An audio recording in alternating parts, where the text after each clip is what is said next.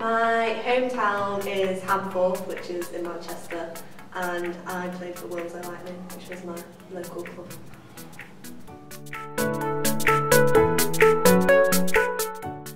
Um, my Netball Idols page, Hadley, who's the wing attack for Diamonds, because she's super quick and I just aspire to be her as wing attack for my position. And I don't aspire to be her, I aspire to be like her. Kind of reword that. Um, spending time with family and friends uh, makes me happy.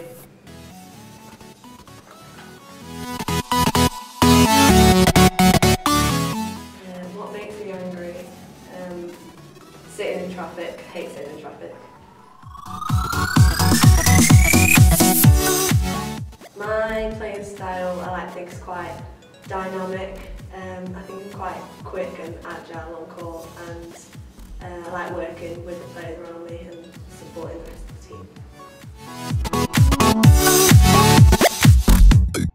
The last message I sent was to my flatmates to tell them I'd gone to training because they were still asleep after a night out. Um,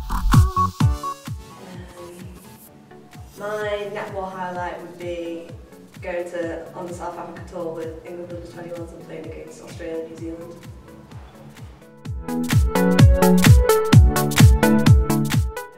My most embarrassing moment is I went round to a friend's house for a meal and there were quite a lot of people there and I walked into their conservatory window and almost knocked myself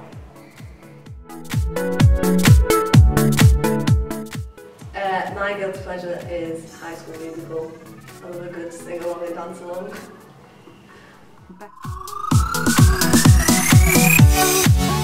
The best thing about netball is being able to spend time with your friends and being part of a team.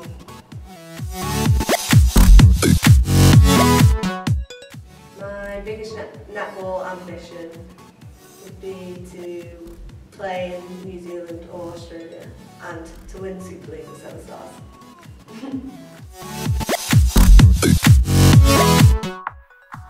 My biggest influence is my parents. They've always supported me my netball, driving me everywhere, us training.